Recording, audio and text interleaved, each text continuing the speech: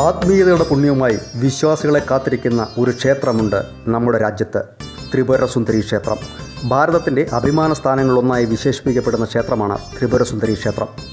ത്രിപുരസുന്ദരി പുരാണങ്ങളുമായും ഐതിഹ്യങ്ങളുമായി ഏറെ ബന്ധപ്പെട്ട് കിടക്കുന്നു. കാളിദേവിയുടെ അമ്പത്തൊന്ന് ശക്തിപീഠങ്ങളിലൊന്നായ ഈ ക്ഷേത്രത്തിന്റെ വിശേഷങ്ങളിലേക്ക് വരാം. ത്രിപുരയിലെ ഏറ്റവും പ്രശസ്തമായ ക്ഷേത്രങ്ങളൊന്നാണ് ത്രിപുര സുന്ദരി ക്ഷേത്രം. ത്രിപുരേശ്വരി ക്ഷേത്രമെന്നും ഇത് അറിയപ്പെടുന്നു.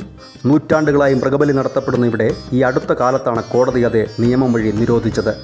ത്രിപുരയിൽ അഗർത്തയിൽ നിന്നും അമ്പത്തഞ്ച് കിലോമീറ്റർ അകലെ ഉദയപൂർ എന്ന സ്ഥലത്താണ് ഈ ക്ഷേത്രം സ്ഥിതി ചെയ്യുന്നത്.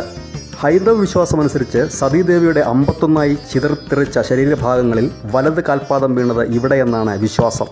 സതീദേവിയുടെ മരണത്തെ തുടർന്ന് ദുഃഖിതനായ ശിവൻ ദേവിയുടെ ജീവനില്ലാത്ത ശരീരം തോളിലേറ്റി താണ്ഡവമാടാൻ തുടങ്ങി. ഇതിനൊരു അവസാനം കാണാതായതോടെ താണ്ഡവം അവസാനിപ്പിക്കുന്നതിനായി വിഷ്ണു ചക്രത്താൽ സതീദേവിയുടെ ശരീരം കഷ്ണങ്ങളായി ഛേദിച്ചു. സതിയുടെ വിവിധ ശരീരഭാഗങ്ങൾ ചെന്നു വീണ സ്ഥലങ്ങളാണ് ശക്തി സ്ഥലങ്ങൾ എന്ന പേരിൽ അറിയപ്പെടുന്നത്.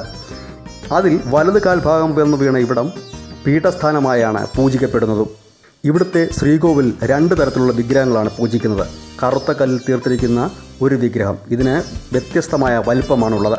അഞ്ചടി ഉയരമുള്ള ഈ വിഗ്രഹമാണ് പ്രധാനപ്പെട്ടത്. ത്രിപുരസുന്ദരടി വിഗ്രഹം ഏറെ വിശേഷപ്പെട്ട ഒന്നുകൂടിയാണ്.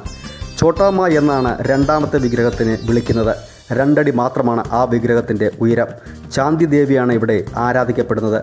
ഒരു ചെറിയ വിഗ്രഹം ത്രിപുരയിലെ രാജാക്കന്മാർ യുദ്ധകാലത്തെ യുദ്ധക്കളത്തിലേക്ക് കൊണ്ടുപോയ ഒന്നാണ്. ആ വിഗ്രഹമാണ് ഇവിടെ പ്രതിഷ്ഠിക്കപ്പെട്ടിരിക്കുന്നത്.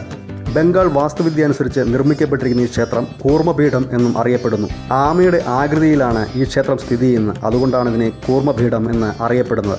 ഒരു കുന്നിന് മുകളിൽ ആമയുടെ പുറം പോലെ തോന്നിപ്പിക്കുന്ന രീതിയിലാണ് ഇതിന്റെ നിർമ്മാണം.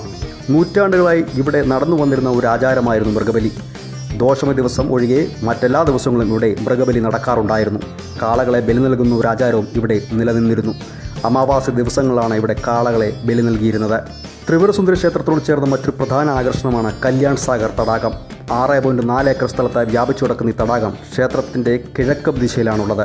ക്ഷേത്രത്തിലെത്തുന്ന വിശ്വാസികളായ അനേകർക്ക് ഈ ക്ഷേത്രത്തിൽ ധാരാളം ആമകളെ കാണാൻ കഴിയും. ഇവിടെ എത്തിയ ആമകൾക്ക് ഭക്ഷണം നൽകുക എന്നത് ക്ഷേത്രാചാരങ്ങളുടെ ഒരു ഭാഗം കൂടിയാണ്. ത്രിപുരയുടെ തലസ്ഥാനം അഗർത്തലിൽ നിന്നും അമ്പത്തഞ്ച് കിലോമീറ്റർ അകലെ ഉദയപൂരിലാണ് ഈ ക്ഷേത്രം സ്ഥിതി ചെയ്യുന്നത്. ത്രിപുരയിൽ സ്ഥിതി ചെയ്യുന്ന ത്രിപുര സുന്ദരി ക്ഷേത്രം കാണാൻ സ്വദേശത്തു നിന്നും വിദേശത്തു നിന്നുമടക്കം ആയിരക്കണക്കിന് ഭക്തരാണ് ദിവസവും ഇവിടെ എത്തുന്നത്.